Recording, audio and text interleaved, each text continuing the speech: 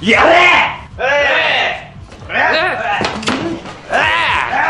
やめろ！お茶やめろ！かかってこい。ひねり潰してやる。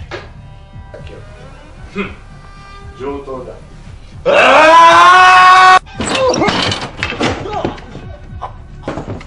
なかなか中に入れてもらえなかったので少し手洗い手段を何者だ貴様。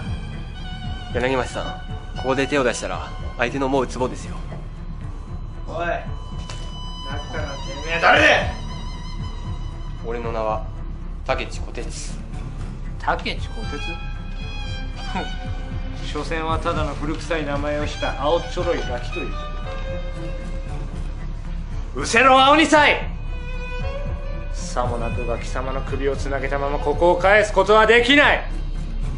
承知。あいつを。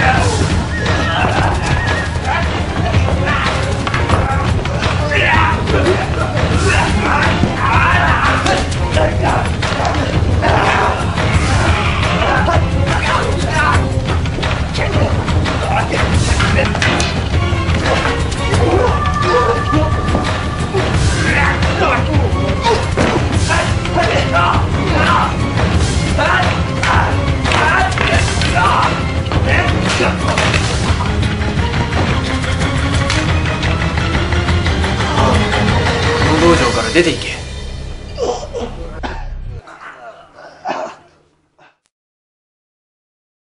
すいません柳町さん。いや。むしろ助かったよ。いえそのことではなくて。なんだ？今の一件で買ってきた食材が。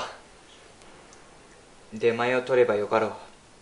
セオリー本当にありがといえいえ。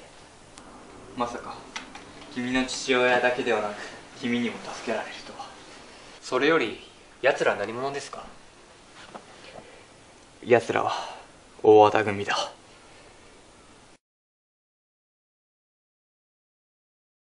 大変申し訳ございません。いや、奴がやる気になったところで少年が現れまして、そ、そいつがと、とてつもなく強いんです。そんなことはどうでもいいんですよ。私が欲しいのは柳町道場手段などどうでもいい。申し訳ございません。すいませんじゃええんだよ。俺がお前らみたいなクズを雇ってる理由がわかるか？わ、わかりません。俺がお前らを雇ってるのはなお前らは単純でバカで使い勝手がいい。お前らは所詮将棋の駒でいう歩だ前にしか進めない駒そんな。駒のくせに図に乗るな。厳しいですね。これくらいがちょうどいいんだよ。こいつらにはもう頼んでおけん。得意。てめえが動け。ではそろそろ話そうか。そうですね。どこまで話したっけな。決闘のところです。そうか奴は私の挑戦を何度も拒み続けた。何度も何度も。それで私の堪忍袋が切れた。私は奴の妻を誘拐した。それを餌に奴をおびき出した。そしてついに決闘の日が来た。決闘はどうなったんですか？奴の勝ちだ。私たちは運が悪かった。大の大人二人が喧嘩などをしていたら通報されるに決まっているが私たちは捕まった今思うと情けないよ。その後どうなったのですか？奴と私は剣道協会から処罰を受けた。それで父は剣を置いたんですか？わからん。それ以来お前の父とは会っていない。しばらくしてお前の父が行方をくらました。父はなぜ僕と母を捨てたのでしょう？奴は何よりも周りの人間を大切にした男だ。ましてや自分の息子なんて。そうですかそういえば竹地君。君は剣術をどこで習ったんだ？これは何でしょうか？体に染み込んでいたというよりは物心ついた時から身についていました。なるほど。道理で不完全なわけだ。ここで会ったのも何かの縁。どうだ？古王古剣流の奥義習ってみないか？ありがたいです。行くぞ。はい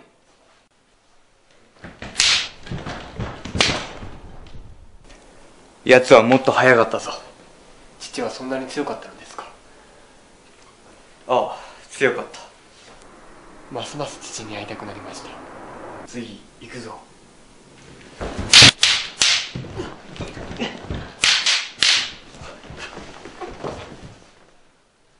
さすがイスの息子だな。それほどでもないですよ。そろそろ奥義の伝授に移る。よろしくお願いします古法古剣流は月を最も得意とする技。その特性を最大限に生かしたこの技。それこそが神の息吹。先生そんなに焦らなくてもいいじゃないですか。焦らんでもいいだと。あの方には明日中には仕上げると言ってしまったんだぞ。物事はなるようにしかなりませんよあの方にそんなことが通用するわけなかろ結果さえ残せば家庭などどうでもいいと私は思いますがね。う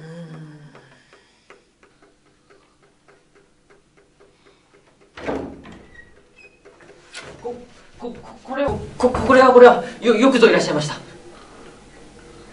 てめえら全員神戸をされろ！い！い部下を持ったなであの件はどうだ？ももちろん順調です。そうか。それはよかった。あんな潰れかりの道場より我が学校の新校舎の方がよほど社会貢献になる。あんな潰れかけの船誰も乗りゃしませんよ。沈みかかった船は沈めてやらんとな。もももちろんです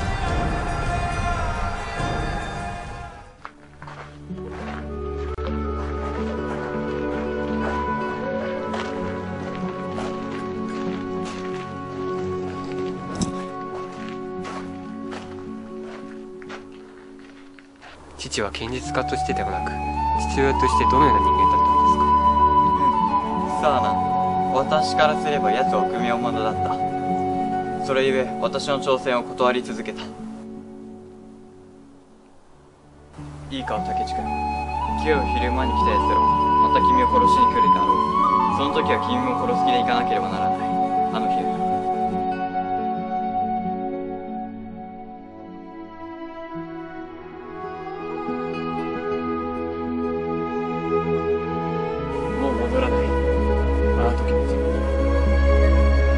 だが私にはお前を守らなければならない使命がそれが奴への償いだ。これは？選別だ。模造刀だ。お前の父が使っていた。模造刀？と言っても普通の模造刀ではない。お前の父が自ら撃った刀だ。どうしてこれを？お前の戦う相手はそういう奴らだ。それを腰につけてみた。